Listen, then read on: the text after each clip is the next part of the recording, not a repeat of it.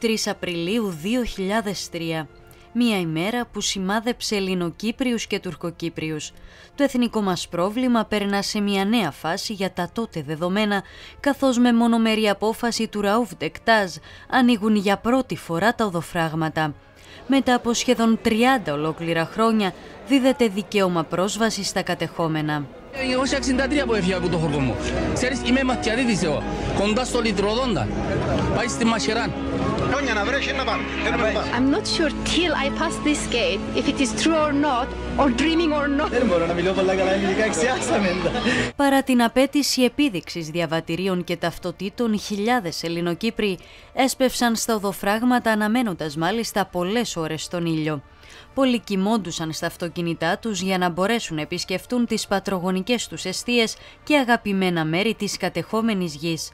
Αξιοσημείωτο το γεγονός πως μέσα σε 15 μόνο ημέρες 260.000 Ελληνοκύπροι και 90.000 Τουρκοκύπροι, περίπου δηλαδή το 40% του πληθυσμού, διακινήθηκαν από τα οδοφράγματα. Η απόφαση του Ραουβτεκτάς προκάλεσε αμηχανία στην πολιτική ηγεσία. Now this uh, honeymoon sort of season uh, is very good.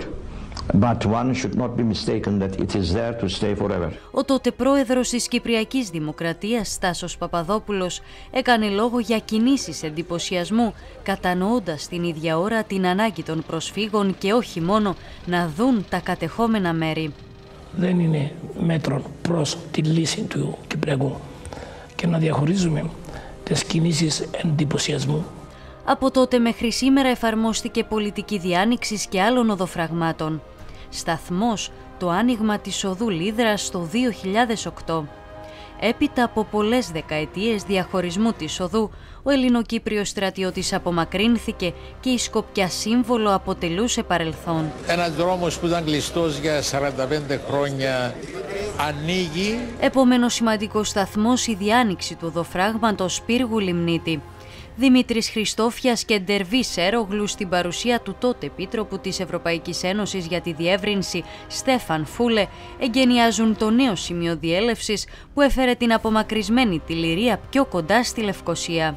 Σήμερα, 43 χρόνια μετά την εισβολή, λειτουργούν τα εξή σημεία διέλευσης.